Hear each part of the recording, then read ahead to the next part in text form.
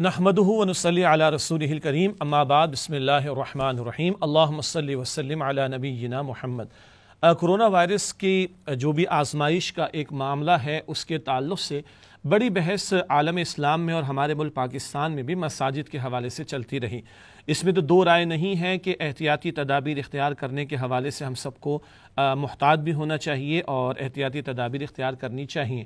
مگر پاکستان میں میں خاص طور پر عرض کرنا چاہوں گا کہ میڈیا کا رول جو مستقل ہمارے سامنے آیا اور ہمارے حکمرانوں کی طرف سے بھی، خاص طور پر صوبہ سندھ میں بھی حکومت کی طرف سے جو ایک رول ہمارے سامنے آیا وہ بڑا تشویشناک ہے۔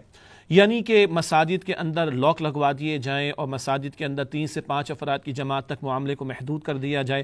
حالانکہ اس کے تناظر میں بات تو پرانی ہو چکی ہے۔ تمام مکاتب فکر کے معروف علماء کرام نے باقاعدہ ایک پریس کانفرنس میں پورا ایک لائے عمل ہمارے سامنے رکھا، جس کی اسپرٹ پر ہمارے حکمرانوں نے، خاص طور پر گورنمنٹ آف سندھ کی میں بات کرنا چاہوں گا، عمل درآمد انہوں نے نہیں کیا۔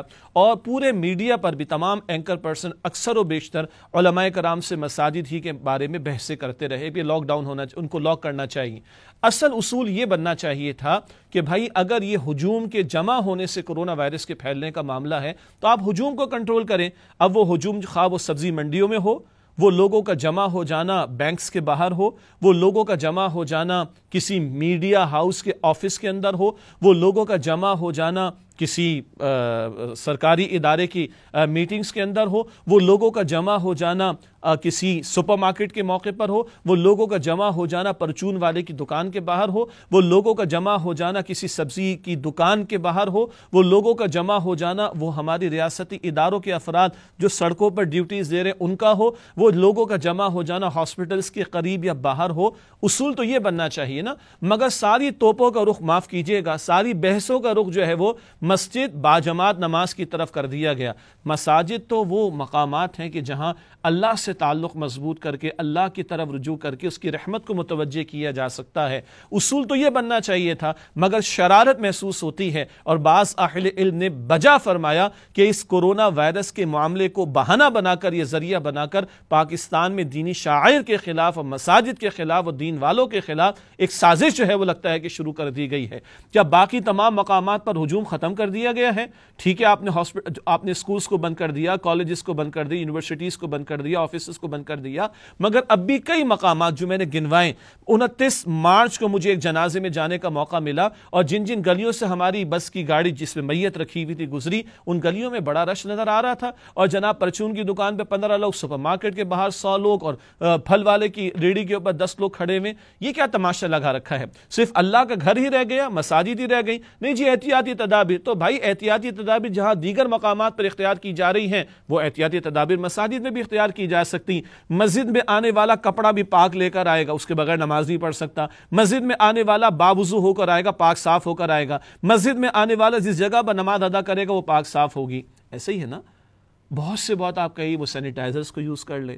بہت سے بہت آپ کہیے جو بیمار لوگ ہیں، جو علماء نے کہا، پورا انہوں نے ایس او پی مرتب کر کے دیا تھا، لیکن اس کی اسپرٹ کے ساتھ عمل درآمد نہ ہو سکا. اب پاکستان میں طے ہو رہا ہے کہ جناب ہم فلاں صنعتیں بھی کھول دیں گے. کاروباری حضرات نے بھی کراچی میں کہا جی بس جی بہت ہو گیا، اب ہم نے بھی مارکیٹس اپنی کھولنی ہیں.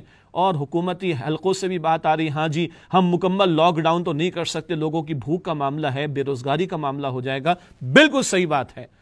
مگر ہم کہتے ہیں، بھائی، اپنی عقل سے آگے بڑھ کر ایمان کی روشنی میں بھی تو غور کرو۔ اگر بھوک تمہارا ہمارا مسئلہ ہے، تو روح کی آبیاری بھی تو ہمارا تمہارا مسئلہ ہے۔ کسی نے کہا، نہیں نہیں، عبادت تو گھر میں ہوتی ہے۔ اور بھائی، یہ کورونا وائرس بہت آرٹیفیشل انٹیلیجنس رکھنے والا ہے۔ بڑا انٹلیکچول ہوگا کہ آپ کے میرے گھر کے باہر کھڑا ہوگا اور دیکھے گا کہ اچھا یہ عبادت کے لیے جا رہا ہے، اس کو میں پکڑوں گا اور یہ جا رہا ہے جناب گورنمنٹ کی میٹنگ کے لیے، یہ جا رہا ہے سپر مارکیٹ یہ جا رہا ہے ڈاکٹر کے پاس، یہ جا رہا ہے ریڈی والے کے پاس، یہ جا رہا ہے دودھ والے کے پاس، اس کو نہیں پکڑے گا۔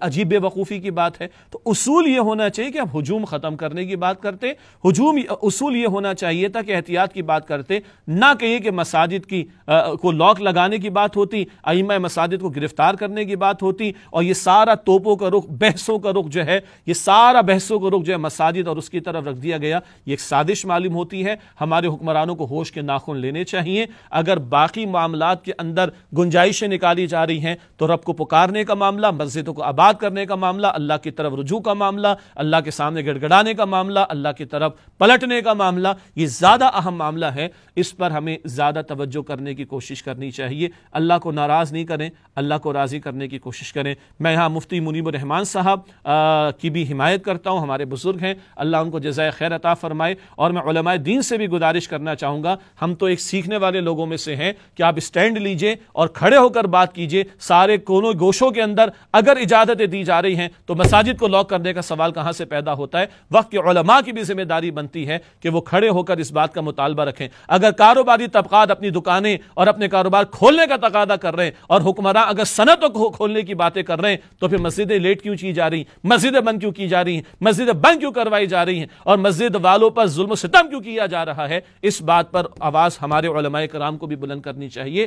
اللہ تعالی ہمیں ہدایت دے اور صحیح راستے کی مزید توفیق عطا فرمائے اور اللہ سبحانہ و تعالیٰ اپنی طرف رجوع کی ہمیں توفیق عطا فرمائے اور اس وبا کے اثرات کو اللہ ختم کر دے۔ اللہ ہم سب کو امن اور عافیت اور آسانی عطا فرمائے۔ وہ آخر دعوانا الحمد للہ رب العالمین۔ والسلام علیکم ورحمۃ اللہ وبرکاتہ۔